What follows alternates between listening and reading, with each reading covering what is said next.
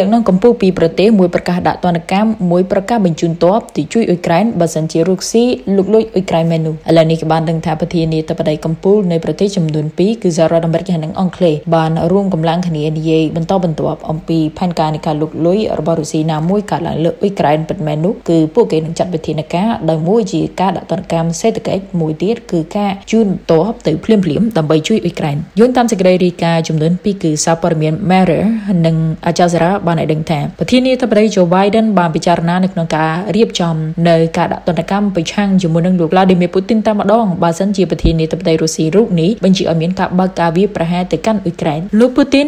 និងលោក Biden ធ្លាប់បានលើកឡើងជាមួយគ្នានិងហៅគ្នាថាជាមិត្តចាស់ទៀតផងតែយ៉ាងណាក៏ដោយក្តីនៅក្នុងស្ថានភាពដែលអ៊ុយក្រែនដែលជាដៃគូមួយរបស់ NATO ត្រូវបានដឹងថាកំពុងតែរងនឹងការគំរាមកំហែងលោកបានលើកឡើងអំពីចំណាត់ការនានានៅក្នុងការដាក់ទណ្ឌកម្មខណៈដែលនាយករដ្ឋមន្ត្រី Boris Johnson បានជំរុញឲ្យសម្ព័ន្ធភាពសហភាពអឺរ៉ុបគួរតែត្រៀមរួចរាល់ដូចសហរដ្ឋអាមេរិកដែរនៅក្នុងការដាក់ទណ្ឌកម្មទៅលើរុស្ស៊ីបារុស្ស៊ីលោកលួចអ៊ុយក្រែននោះលោក Johnson បានមានប្រសាសន៍ថាយើងមាននៅកញ្ចប់ទណ្ឌកម្មដ៏ធ្ងន់ដែលត្រៀមរួចរាល់ហើយហើយខ្ញុំគិតថាវាគឺសមរម្យដែលមិត្តភ័ក្តិរបស់យើងដៃគូសហភាពអឺរ៉ុបត្រៀមដូចគ្នានៅក្នុងការពង្រាយនៅកញ្ចប់ទាំងអស់នោះតាមដែលឆាប់ឆាប់ទៅបើសិនជាការលុកលុយណាមួយរបស់រុស្ស៊ីចូលទៅកាន់អ៊ុយក្រែនមែននោះរុស្ស៊ីត្រូវបានដឹងថាបានបង្កើនកម្លាំងទ័ពដល់ទៅ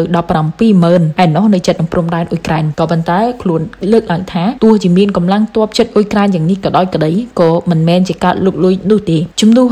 បញ្ហានេះវិញលោកខាងលិចបានឆ្លើយតបចំពោះសកម្មភាពនៃការដំឡើងកម្លាំងទ័ពបែបនេះចំនួនប៉ុណ្នេះថារុស្ស៊ីគឺមានគោលដៅនៅក្នុងការទន្ទ្រានយកអ៊ុយក្រែនកាលពីថ្ងៃច័ន្ទវ៉ាស៊ីនតោនបានបញ្ជូនកម្លាំងទ័ពចំនួន8000នាក់ចំពេលដែលភាពតានតឹងនៃការដែលអាចដាក់ពង្រាយទៅកាន់អឺរ៉ុបខាងកើតជាកំណត់សម្គាល់មួយរបស់រុស្ស៊ីផងដែរហើយរាល់សមាជិក NATO ដទៃទៀតបានធ្វើចលនានានានៅក្នុងការជំរុញសន្តិសុខរបស់ពួកគេនៅក្នុងតំបន់មូស្គូបានវិបកវិញថាចលនាទាំងនេះទេដែលសហរដ្ឋអាមេរិកកំពុងតែធ្វើឲ្យមានភាពតានតឹងកាន់តែខ្លាំងឡើង ចំណែកខាងលោកនាយករដ្ឋមន្ត្រីបូរីចុនសុនកាលពីថ្ងៃអង្គារបានលើកឡើងថាចក្រភពអង់គ្លេសនឹងធ្វើការវិភាគកទានជាចាំបាច់តែម្ដងក្នុងការពង្រាយទ័ព NATO បើសិនជារុស្ស៊ីលុកលុយអ៊ុយក្រែនមែននោះដែលនិយាយថាក្រុងមូស្គូកំពុងតែកំឡើងកំភ្លើងបាញ់ចំក្បាលរបស់ប្រទេសជិតខាងនៃលោកខាងលិចហើយថ្លែងយ៉ាងដូចនេះនៅក្នុងសភាលោកចុនសុនបានគូបញ្ជាក់ថាការឆ្លើយតបរបស់រដ្ឋាភិបាលយើងនៅក្នុងភាពតានតឹងយើងបានធ្វើការជាមួយនឹងលោកប្រធានាធិបតី Joe Biden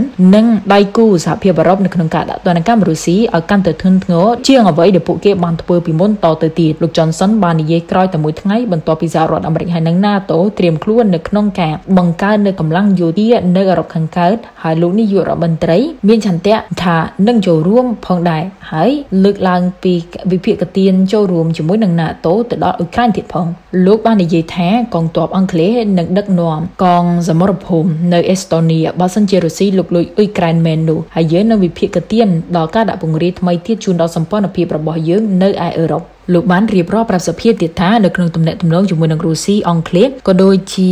សម្ព័ន្ធភាពរបស់យើងបានកត់សម្គាល់អំពីសកម្មភាពនៅក្នុងការចង្អុលបង្ហាញអំពីគោលការណ៍នានាហើយយើងមិនអាចតថ្លៃចំពោះចក្រវិស័យនៅអឺរ៉ុបទាំងមូលនិងសេរីកាលពីឆ្នាំ1989ដល់ឆ្នាំ1991ខណៈនេះផងដែរអ៊ុយក្រែនគឺលោកបានសម្រួលថាគំមានការភ័យខ្លាចចំពោះការលុកលុយដល់ហានិភ័យណាមួយអង់គ្លេសនិងសហរដ្ឋអាមេរិកបានចាប់ផ្ដើមនៅក្នុងការជំលាប្រជាជនរបស់ពួកគេដែលក្នុងឋានៈជាក្រុមគ្រួសាររបស់អ្នកការទូតនិងបុគ្គលិកទូតដែលមិនចាំបាច់ពីស្ថានទូតរបស់ពួកគេនៅឯក្រុងគីវចនសុនបានសង្កត់ធ្ងន់ដែលថាស្ថានទូតអង់គ្លេសនៅតែបើកនៅឡើយនោះទេ កាលពីថ្មីថ្មីនេះរុស្ស៊ីបានបង្កើនកម្លាំងទ័ពដល់ទៅ10000នាក់ហើយគេក៏បានឃើញអំពីសពាវុធរបស់រុស្ស៊ីបានបញ្ជូនទៅកាន់បេឡារុសក្នុងខណៈដែលបេឡារុសត្រូវបានគេដឹងថាកំពុងតែបង្កភាពភ័យខ្លាចចលាចលដល់អឺរ៉ុបខាងលិចតាមរយៈការបញ្ជូនជនភៀសខ្លួនពីមជ្ឈមបូព៌ាទៀតនោះលោកចនសុនប្រាប់ទៅសភាថាអ៊ុយក្រែនមានក្រមសីលធម៌និងសិទ្ធិច្បាប់នៅក្នុងការការពារទឹកដីរបស់ពួកគេហើយខ្ញុំជឿអំពីការតស៊ូរបស់ពួកគេ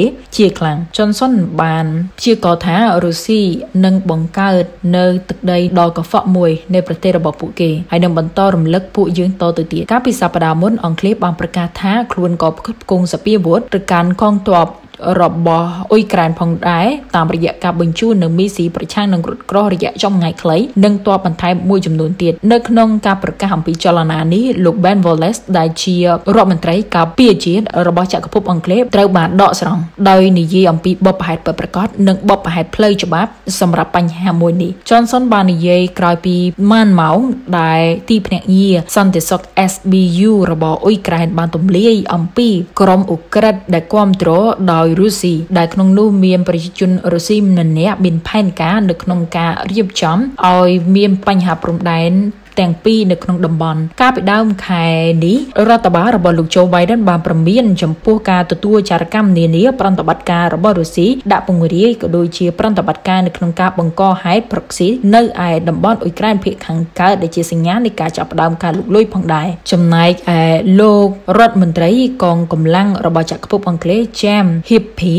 បានប្រមានចំពោះការវាប្រហារណាមួយដោយបោះពុំផ្សាយតាមរយៈ op-ed នៅឯសារព័ត៌មានអង់គ្លេស The Sun តែម្ដងដែលថាទីណាដែលយើងមើលឃើញអំពីផែនការរបស់រុស្ស៊ីនៅក្នុងការអនុវត្តណាមួយជាការវាប្រហារក៏ដូចជាផែនការនៃការលើកបន្ទប់របបអាយ៉ងណាមួយខណៈដែលខ្ញុំសរសេរយើងបានដឹងអំពីតួលេខនៃចំនួនក៏ដូចជាអ្នកដែលមានទំនាក់ទំនងជាមួយនឹងយោធាយ៉ាងច្បាស់ហើយនឹងអ្វីដែលកំពុងកើតឡើងនៅឯអ៊ុយក្រែនកាលពីថ្ងៃច័ន្ទសហរដ្ឋអាមេរិកបានប្រកាសរួចហើយនៅក្នុងការបញ្ជូនកម្លាំងទ័ពបន្ថែមឲ្យដល់40000នាក់ជួយនឹង NATO តែបែបនេះក៏ដោយក្តីសារព័ត៌មានអាតេបានលើកឡើង អំពីភាពគួរព្រួយបារម្ភនៅតំបន់ព្រំដែនជាមួយនឹងរុស្ស៊ីនិងអ៊ុយក្រែនដោយលោកប្រធានាធិបតីក្រូអាត Zoran Milanovic ដែលប្រកាសថាប្រទេសរបស់លោកនឹងដកកងទ័ពចេញពីបញ្ជាការនៅក្នុងតំបន់ជាមួយនឹង NATO បើសិនជាចំនួនកាន់តែ ធ្ងន់ធ្ងរខ្លាំងដល់ថ្នាក់ផ្ទុះនៅប្រដាប់អាវុធមែននោះដោយលោកបាននិយាយស្រង់មកខ្សោយដោយសារព័ត៌មាន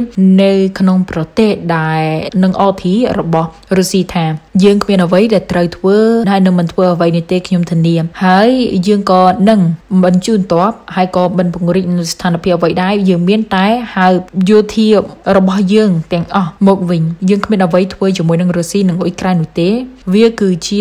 រឿងរ៉ាវនៃគោលនយោបាយផ្ទៃក្នុងរបស់សហរដ្ឋអាមេរិកលោក Joe Biden និងរដ្ឋការរបស់ពួកគេដែលខ្ញុំគ្រប់គ្រងលោកយល់ឃើញថាអ្វីដែលកំពុងតែកើតឡើងសពថ្ងៃនេះគឺជាអរិយាប័ត្រគ្រោះថ្នាក់នៃសន្តិសុខអន្តរជាតិហើយ ចំពេលដែលមានការចោទប្រកាន់ពីលោកខាងលិចនៅក្នុងការដែលអាចលុកលុយអ៊ុយក្រែនបានវាមានក្រុមឡើងបានបដិសេធម្ដងហើយម្ដងទៀតហើយក្រុងមូស្គូមានតែទៀមទាឲ្យមានការឆ្លើយតបជាលាយលក្ខអសរតាមរយៈសំណើនៃ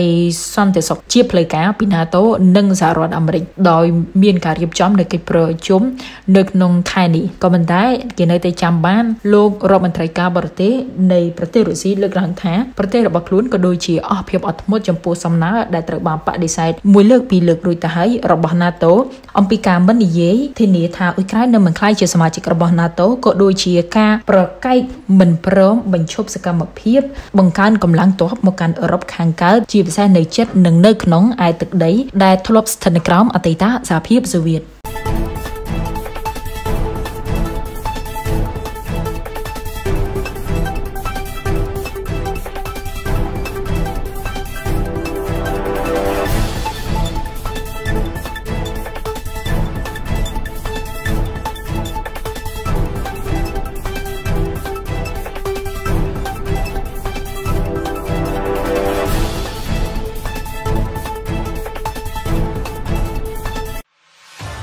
ដើម្បីទទួលបានព័ត៌មានទាន់ហេតុការណ៍ព្រឹត្តិការណ៍សំខាន់សំខាន់បទវិភាគគន្លឹះគន្លឹះព្រមទាំងប្រវត្តិសាស្ត្រសកលសូមចូល Subscribe Channel YouTube ព្រឹត្តិការណ៍ប្រចាំថ្ងៃ7 Info